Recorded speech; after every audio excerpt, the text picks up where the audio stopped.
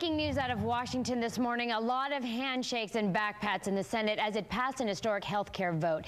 As in the previous two votes, it was along party lines. Jennifer Johnson has details of the vote now. On this morning before Christmas, senators arrived at the Capitol while it was still dark out for this historic vote.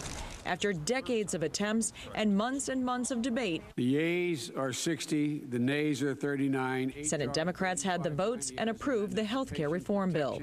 The plan will provide health care coverage for over 30 million Americans. We take that step from health care as a privilege to health care as an inalienable right of every single American citizen. Republicans tried to block passage of this version of the bill, saying it's unconstitutional to require Americans to have health insurance. The Congress, the United States government, has never enacted anything that would regulate someone's inactivity.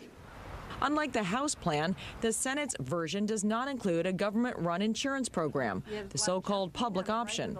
But President Obama says that will not warrant a veto from him. Overall, uh, I think that I've seen 95% of what will work for the American people. House and Senate leaders will begin working on a compromise bill in the new year. Differences will have to be worked out before one final version of this bill is sent to the president to be signed into law.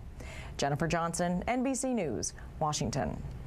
Just about 10 minutes ago, the president congratulated senators for their work. He says Congress is close to delivering on a promise to the American people.